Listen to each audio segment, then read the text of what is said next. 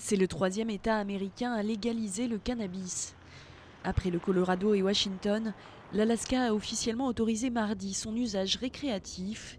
Les personnes âgées de plus de 21 ans peuvent désormais détenir 28 grammes de marijuana et cultiver jusqu'à 6 plants chez eux. Grâce à cette loi, la consommation devient totalement légale pour les adultes dans la sphère privée. Elle reste interdite sur la voie publique, sous peine d'amende.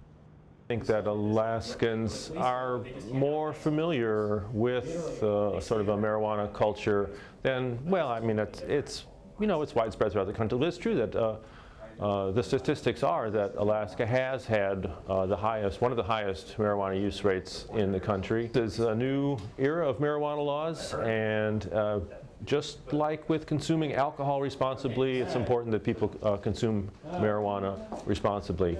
L'Alaska doit encore légiférer sur les règles concernant la vente de cannabis. En attendant, les habitants ont le droit de cultiver leur propre marijuana, d'en recevoir ou d'en donner. Il leur est par contre interdit d'en vendre sans permis spécial.